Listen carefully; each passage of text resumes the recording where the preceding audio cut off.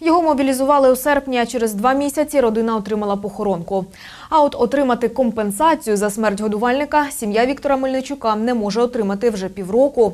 Про поневіряння родини із Стальнівщини наш наступний сюжет.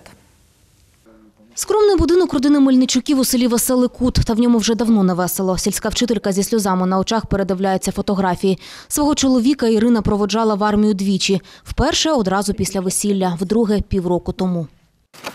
Надіявся, він казав, що прийду додому, все буде добре. Я їм завжди казала, я його кожен день просила, йди додому. Але вони казав він мені завжди, що ми на своїй землі.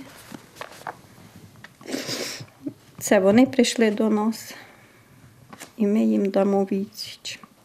Це відео було відзнято на позиціях 128-ї гірсько-піхотної бригади всього за кілька днів до загибелі Віктора. Сержант Мельничук уникав камер, тому у кадр так і не потрапив. Блокпост бригади обстрілювали щоденно. На початку жовтня під ногами чоловіка розірвалася міна. Він помер, так і не прийшовши до тями.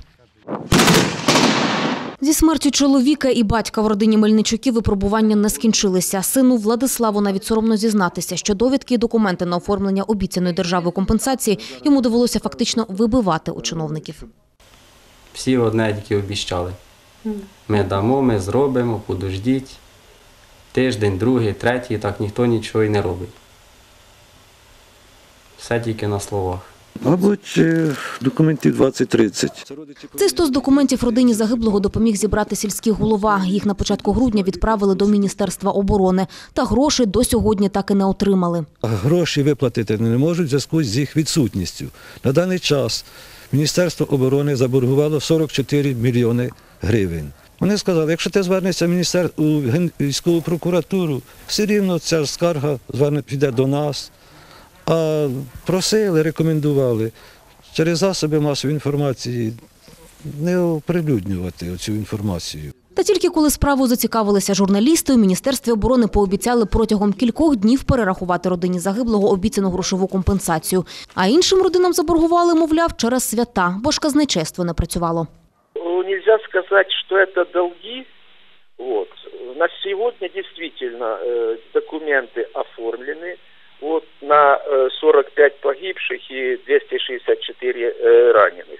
Значит, деньги э, мы частично получили на этих людей. Частично мы получим еще до конца месяца.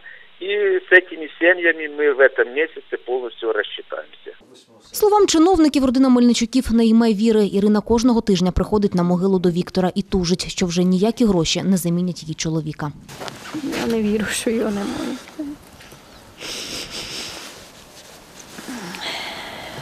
Для нас він живий лишився. Марія Гаврилян, Вікка Новини.